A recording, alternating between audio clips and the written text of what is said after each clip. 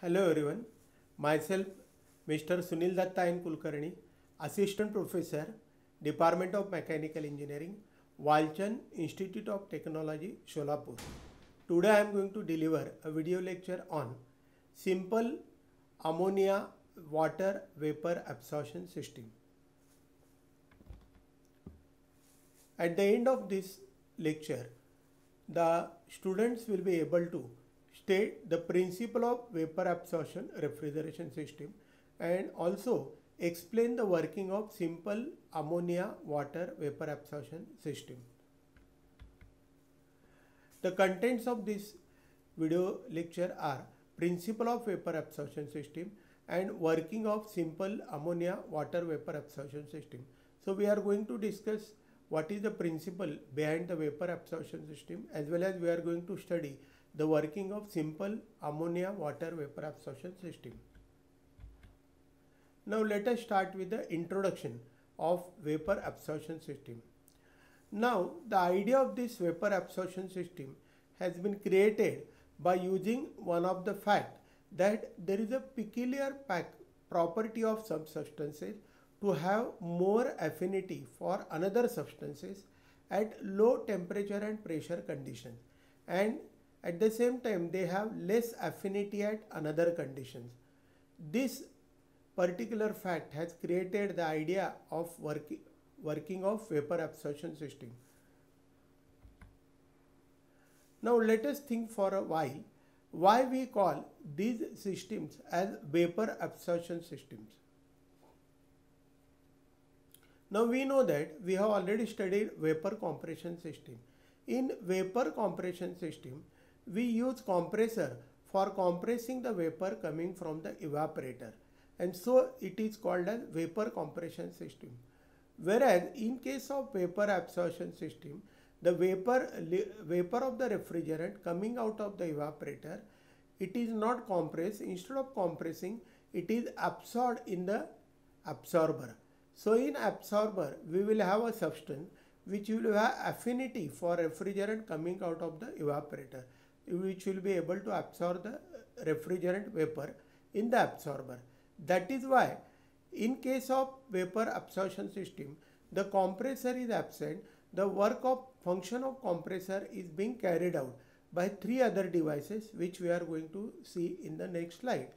And that is why because we absorb the vapor coming out of the evaporator, these refrigeration systems are called as vapor absorption system. Now what is the principle behind vapor absorption system? Now in simple aqua ammonia vapor absorption system, the ammonia is used as refrigerant whereas water is used as absorbent. As just now we have seen, the water is having strong affinity for ammonia at low pressure and temperature and less affinity for ammonia at high pressure and temperature. And so the water will be used as absorbent and ammonia is used as refrigerant. And just now as I have told you the solubility, solubility of ammonia in water is higher at low pressure and temperature whereas it is less at higher temperature and pressure. Now we will see the working of simple vapor absorption system. Now you can see here the very beautiful diagram of simple vapor absorption system. Now we will start from the evaporator section. Now in the evaporator as already we know the liquid refrigerant which is coming out of the condenser first of all it is stored in the receiver and then from the receiver it passes to the expansion valve. Now expansion valve function is to reduce the pressure of the refrigerant, liquid refrigerant from condenser pressure to the evaporator pressure. Now condenser pressure will be corresponding to the saturation temperature of the refrigerant which will be used for condensing the refrigerant. Whereas the evaporator pressure will be corresponding to the required temperature in the evaporator. In evaporator, we maintain the temperature which is desired to be produced. Okay. So, the function of expansion valve, now expansion valve is nothing but the throttle valve. Okay. we there are various types of expansion valve. We can use any type of expansion valve or throttle valve, but its function will be same to reduce the pressure of the refrigerant from condenser pressure to the required evaporator pressure. So when this liquid refrigerant after expanding to the low pressure, it now passes to the evaporator. Now in the evaporator, this liquid refrigerant will absorb the heat from the surrounding space. So here the after absorbing the heat from the surrounding space, okay, this liquid refrigerant gets converted into vapor. And the heat absorbed in the evaporator we have shown here as QG. That is nothing but the refrigerating effect produced okay. Now this particular low pressure and low temperature vapor. Now though it has absorbed the heat in the evaporator this is a what you can say latent heat phenomena. So the vapor is getting converted into liquid uh, uh, sorry the liquid refrigerant is getting converted into vapor. So here latent heat of vaporization is absorbed in the evaporator. Therefore the temperature won't change. Temperature is still lower only. And so this low pressure and low temperature ammonia vapor now passes to the absorber.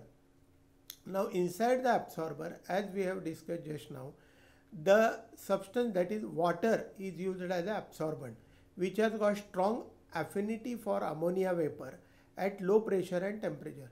So this ammonia vapor will be rigorously absorbed in the absorber. Now, after absorbing the ammonia vapor in the water, we get the strong aqua ammonia solution. This is a strong solution. But this particular reaction of absorption of ammonia vapor into water is an exothermic reaction. So heat is produced in the absorber and this heat has to be removed by use circulating the cooling water or any other suitable medium if we don't remove this heat from the absorber okay so here I have shown the heat rejected from the absorber is QA so if we don't remove this heat then the ability of water to absorb the ammonia vapor reduces which is not desirable. So cooling of the absorber is equally important uh, in case of vapor absorption system. Now we will move ahead. So once we get the strong solution of aqua ammonia due to absorption of ammonia vapor into water. This particular strong solution is now pumped to higher pressure into the generator. So here we have shown 1 to 2 is the absorption process, 2 to 3 is the pumping. So we require to supply some pump work WP and equivalent pump work we have denoted by QV in terms of heat equivalent QP. Now this particular strong solution of aqua ammonia when it passes to the generator. So in generator we are supplying the heat. Now this heat supplied can be in the form of steam, waste steam available or any other form of waste heat or even we can uh, supply with the help of electric heating coil. But usually we supply hot water or steam or any other form of waste heat it is available. So in the generator when we supply the heat which is shown as heat supplied as QG that is the heat supplied in the generator the ammonia being having a lower boiling point it will vaporize and here we will get high pressure ammonia vapor separated. So what will be remaining in the generator? Now in the generator when we remove the ammonia vapor we should get the water but some traces of ammonia will be still present because 100% evaporation of ammonia vapor is not possible. So we get the weak solution of aqua ammonia. Now this weak solution is again expanded down with the help of pressure reducing wall into the absorber. So in the absorber again this weak solution will come back and it will be available for absorbing the coming low pressure ammonia vapor. Now this particular high pressure ammonia vapor which is separated in the generator will now pass to the condenser. Now we know that the function of condenser is to condense the vapor into the liquid. So in case of this vapor absorption system condenser, condenser can be shell and tube type and we are using usually the cooling water for absorbing the heat of latent heat of condensation. So this high pressure ammonia vapor enters into the condenser and water is circulated through the tubes. So the water will absorb the heat that is latent heat of condensation and we will get here now the liquid ammonia which is again stored in the receiver and sub expanded back and supplied to the evaporator. So that completes our cycle. Now let us see how to find out the COP of vapor absorption system. In case of vapor absorption system, the refrigerating effect is heat absorbed by refrigerant in the evaporator which we have shown as QE divided by total energy supplied is the sum of work supplied to the pump and heat supplied in the generator. Okay. So, this equ equation, thus the equation of COP can be written as refrigerating effect divided by total energy supplied. So, QE upon WP plus QG.